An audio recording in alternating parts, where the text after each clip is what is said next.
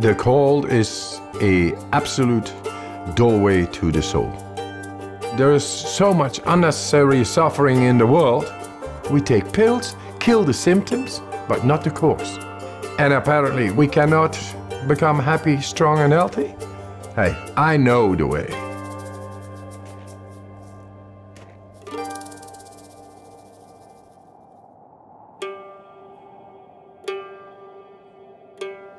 Cold is merciless, righteous. It brings you direct in the depth of yourself. You're not thinking. Your emotions stop. You are just surviving. And it brings you in the purity of the physiology as well as the soul. And you get in a different plane than our conditioning. And that makes you a free man. What's special about Wim is that he kind of has this mind over body control that's pretty phenomenal. When he uh, is exposed to the cold, his body just physically reacts differently from a lot of other people.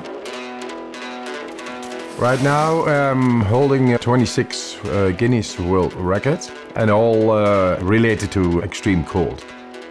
My records range from staying in the ice for 1 hour 53 minutes in direct contact with the ice, running fastest half marathon barefoot, climbing Kilimanjaro in record time in shorts, swimming underneath the ice for the longest distance.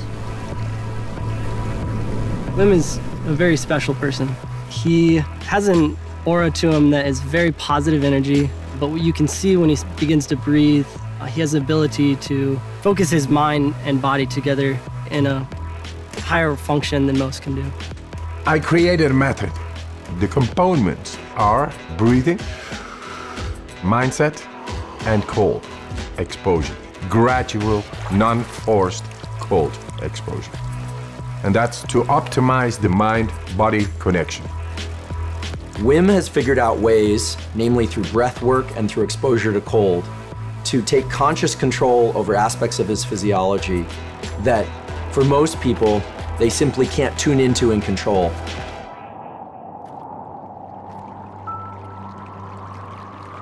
The cold, my warm friend, it brings about a whole lot of more energy, and that uh, together with breathing makes you so powerful.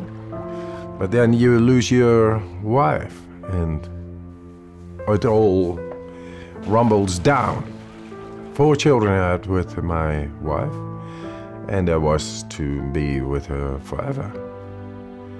She was the love of my life. She died. She suicided. It's a, it's a black hole within yourself. It breaks your heart and you don't know why, but the train of a daily life is going on and you gotta catch up, otherwise you lose it. So I had to be there for my children. And yes, we created a new nest.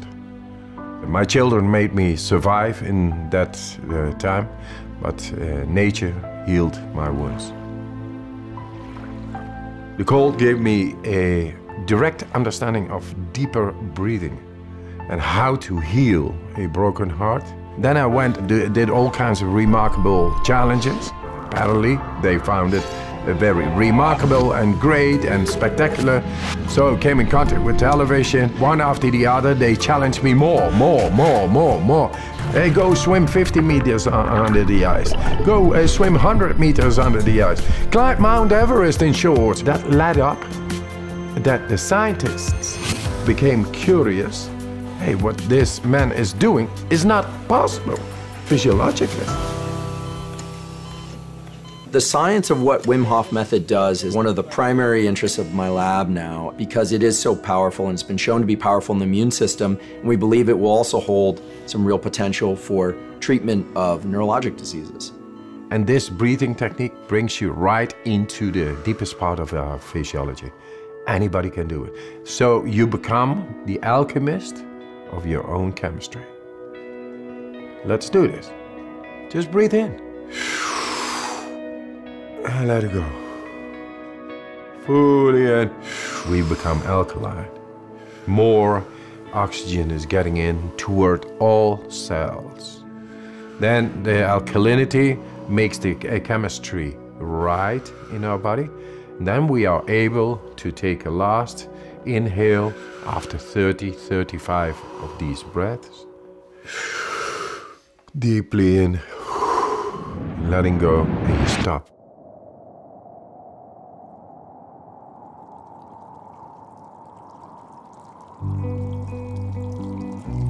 The Wim Hof method is neither distress nor eustress, thrilling. It's somewhere right in between where I believe adrenaline is high and cortisol is low, which gives the, the person who's doing the method this incredible feeling of well being and control over their own physiology and mental state.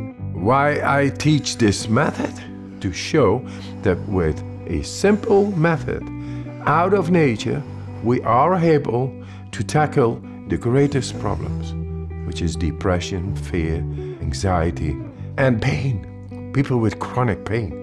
That's all unnecessary suffering going on, and all this industries keeping on and say, yeah, that's normal. And I think that's sick. If it turns out that non ingestible approaches, such as breath work or cold exposure, can approach some of the potency that medications can provide or have failed to provide, then it's quite possible that one can heal from the inside. Guess what? We found proof to tap into our body and mind, enabling us to become happy, strong, and healthy.